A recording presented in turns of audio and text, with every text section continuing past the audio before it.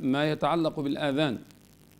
ورد في السنة النبوية أن النبي صلى الله عليه وسلم أمر صحابته الكرام من المؤذنين ابن أم مكتوم وأمر بلال وغيرهم ممن كان يوكل لهم أمر الآذان. فكان عليه الصلاة والسلام يختار أفاضل الصحابة رضي الله عنهم ويختار من يؤمن يكون أمينا على عبادة الناس. المؤذن أمين على عبادة الناس سواء من الصلاة أو من الصوم والفطر. فالمؤذن لا بد أن يكون أمين وهو يحمل في عنقه هذه الأمانة ولا ينبغي له أن يغر بالناس ولا أن يبطل أعمالهم لا أن يبطل صلاتهم ولا أن يبطل صيامهم. وكان الآذان الأول ما يسمى عندنا في الفقه الإسلامي بالآذان الكاذب. والمقصود بالآذان الكاذب هو آه، قبل وقته قبل وقت طلوع الفجر. فكان عليه الصلاة والسلام يأمرهم بالآذان الكاذب لكي يتهيأ الناس ويستعدوا لصلاة الفجر وللإمساك ويستعدوا للسحور ويستعدون آه، ليومهم.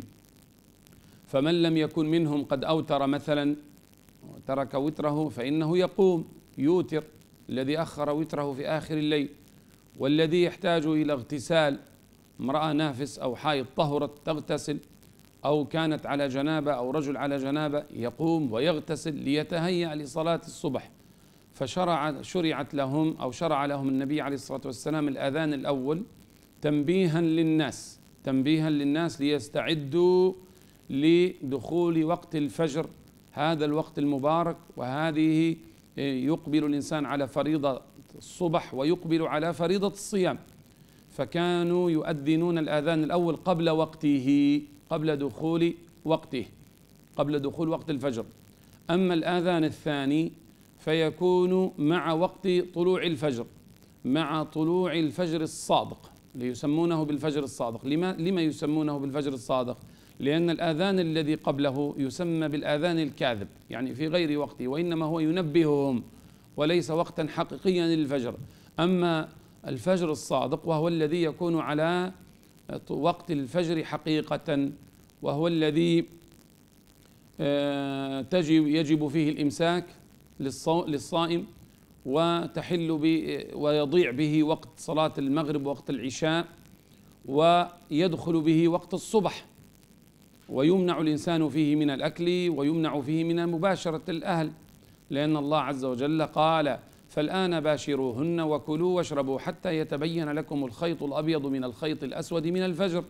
فطلوع الفجر الصادق وتبين الخيط الأبيض وهو انتشار آه، آثار اقتراب طلوع الشمس وطلوع الضيء طلوع النهار وطلوع الفجر ينتشر افقا في السماء فيسمونه آه، يعني بالضوء هذا الذي أشار إليه الله عز وجل بقوله حتى يتبين لكم الخيط الأبيض من الخيط الأسود من الفجر.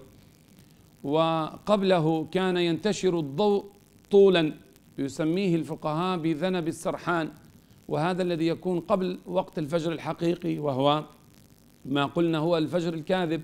فيخرج الضوء قائما هكذا يعرفه أهل الخبرة وأهل البوادي والذين يتتبعون هذا الأمر طيلة العام. مش راقدين جخ نوم يصلوا في الصبح بعد الوحدة والآن يجوا يلبسوا على الناس يقولوا لهم الفجر هذا مش صحيح. يعرفه أهل الخبرة وأهل الديانة وأهل الاستقامة يعرفون طلوع الفجر الحقيقي من الفجر الغير الحقيقي. فكان إذا خرج الضوء المستقيم القائم يسميه الفقهاء بذنب السرحان يسمونه ذنب السرحان زي ديل الثعلب وديل القائم هكذا لما يرفع. هذا الخروج هذا هذا لا يدل على طلوع الفجر هذا قبل طلوع الفجر. فإذا تغير الضوء بالانعكاسات أصبح عرضا أفقيا يسمونه هذا بطلوع الفجر. فكانوا يؤذنون عن الفجر الصادق. وكان عليه الصلاة والسلام كما ورد في الحديث أن النبي عليه الصلاة والسلام بين سحوره وبين آذان الفجر بقدر ما يقرأ خمسين آية. هذا بين الإمساك العادي الذي كان يحتاط فيه عليه الصلاة والسلام وتهيأ فيه إلى بقدر ما يقرأ خمسين آية. فالخطاب لمن يقرؤون القرآن وللطلبة العلم الذين مارسوا القرآن ويفهمون القرآن أما الذين هذوم اللي يقولوا القرآن حفظه أصلا غير سنة وغير مطلوب. هذا لا يفقهون زمن خمسين آية ولا ثمن ولا اثنين ولا ثلاثة ولا نقزة ولا يعرفوا الكلام هذا أصلا. لكن الذي يعرف ويرتل القرآن ويحبره فإذا قرأ خمسين آية يعرف الزمن. الآن ما جعل في المنطقة الشرقية إخواننا هناك لعلهم التبس عليهم الأمر في هذا الأمر فجعلوا الآذان الكاذب الآذان الكاذب اللي هو علامة على دخول اقتراب وقت الفجر اقتراب وقت الفجر. جعلوه في وقت الفجر الحقيقي. الآذان الأول الآذان الكاذب جعلوه في وقت الفجر الحقيقي. ثم أضافوا بعد الوقت الفجر الحقيقي آذانا آخر. فأصبح الناس يأكلون بعد الآذان الحقيقي هذا اللي هم الآن عندهم في المنطقة الشرقية جعل هو الآذان الأول جعل هو الأذان الأول وهو بمثابة الآذان الحقيقي في الوقت في الوضع الطبيعي فأصبح الناس يأكلون بعد هذا الأذان ويعاشرون وبعضهم يعني يستمر في عبادة في عبادته وبعد طلوع الفجر حقيقة الأمر هو. وجعلوا الآذان الحقيقي اللي هو يدل على صلاة الفجر دخول وقت الفجر وأن الإنسان يمتنع فيه من الأكل والشرب ويدخل في وقت الصوم.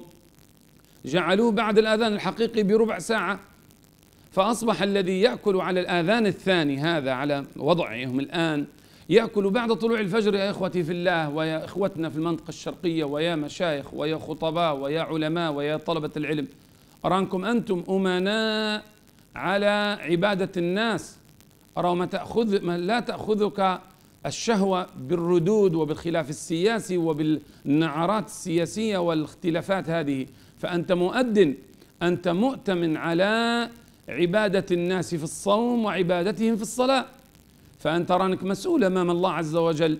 الله عز وجل يقول وقفوهم إنهم مسؤولون. فأنت مؤتمن على هذا الأمر. وكان الصحابة رضي الله عنها كما في حديث عائشة وكما في الموطأ وغيره كان الصحابة بعد صلاة الفجر النبي عليه الصلاة والسلام بعد ذن الفجر كان ينتظر في الصحابة حتى يجتمعوا على الصلاة وكان ينتظر أحيانا بقدر ثلاثين آية أو يزيد أو خمسين آية وكان يصلي بهم عليه الصلاة والسلام. لك أن تتخيل بعد هذا الانتظار يصلي بهم النبي عليه الصلاة والسلام في صبح الجمعة يصلي بهم بصورة السجدة وصورة الإنسان ويقنت بهم في الفجر عليه الصلاة والسلام. وكان ركوعه وسجوده عليه الصلاة والسلام نحو من قراءته فلك أن تقرأ في صلاة الصبح السجدة وصورة الإنسان ثم يخرج الصحابة ويسبحوا ويصلوا ويسلموا ويخرجوا. ولما يخرجوا من صلاتهم هذه الزمن اللي خدوه هذا أكل تقول عائشة فكانت النساء تخرج يعني متلفعات ومتخمرات في مروطهن في ثيابهن لا يعرفن من شدة الغلس. لا يعرفن. بعد الانتظار هذا أكل. وبعد القراءة التي كان يقرأ بها عليه الصلاة والسلام وكانت قراءته عليه الصلاة والسلام يعني فصل الخطاب كانت يعني كلمات مفصلة وواضحة وبينة بروية. بعد هذا الزمن كله ويخرج من الصلاة وبعد التسبيح فإذا خرجوا من المسجد كانت النساء لا تعرف بعضها بعضا. تمشي متلتمات بخمارهن وبمروطهن. لا يعرفن ليش ما يعرفوش في بعضهم. قالت من شدة الغلس الظلمة قاعدة ظلمة. فيا إخوتي راهو الآن أنتم آذانكم الثاني اللي تديروا فيه.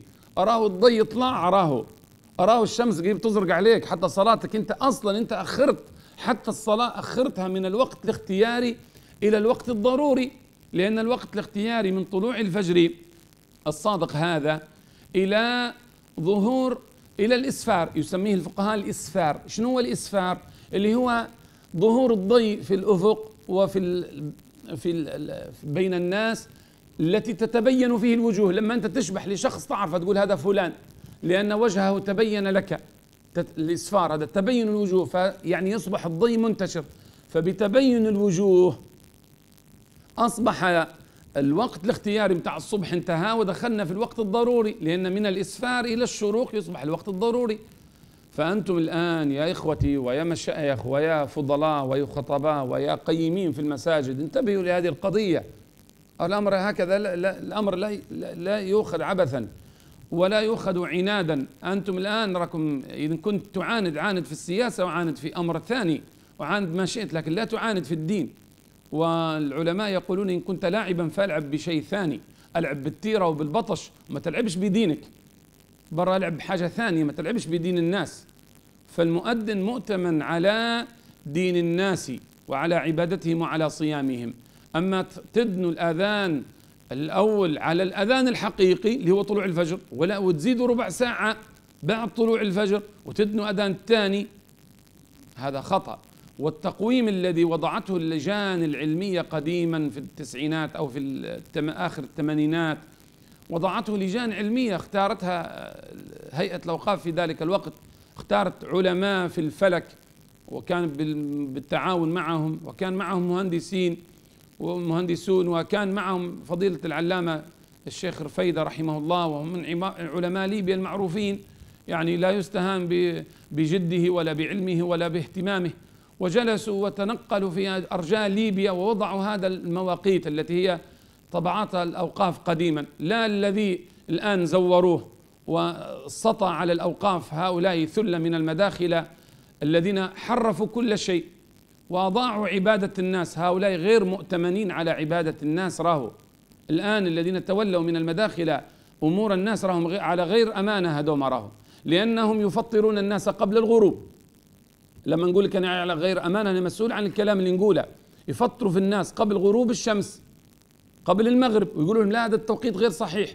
فرمضان هذا ينتشوا فيه من الجهتين زي نص الولاد في المدرسة العيل في الروضة مرة ينتشى من فوق ومرة ينتشى من اللوطة. هذوما رمضان ينتشوا فيه من قبل رم... قبل المغرب يفطروا يقولوا لهم افطروا افطروا ما تعدلوش. وفي الفجر يدن الفجر الكاذب يديروا فيه على الفجر الحقيقي. وبعدها يدنوا في أذان آخر بربع ساعة وقاعدين ياكلوا. وياك اليوم ينتشوا فيه من كل تركينه لا ما ليس عندهم حب لرمضان ولا تعظيم لشهر رمضان وينبشوه من أولى. وبعد الفجر ما يزال يستمروا في الأكل حتى يرى الناس وجوه بعضهم بعضا وتظهر عليهم علامات الضوء الشروق والشمس قريب تطلع. هؤلاء غير مؤتمنين راهو في عباده في في على على على دين الناس. لأنهم أفسدوا على الناس دينهم.